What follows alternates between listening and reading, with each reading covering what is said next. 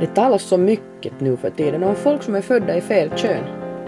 Och att samkönade ska få gifta sig i kyrkan, eller sedan inte, som de säger som tycker att det är onaturligt, eller mot Guds vilja. De som säger så tycks veta vad Gud vill. Kan nu inte alla få gifta sig som de tycker? Man skulle inte behöva göra livet svårt. Det är helt tillräckligt svårt att vara vanligheter och i synnerhet kvinna, om man lyssnar på feminister. Så mycket prat att man blir helt förvirrad.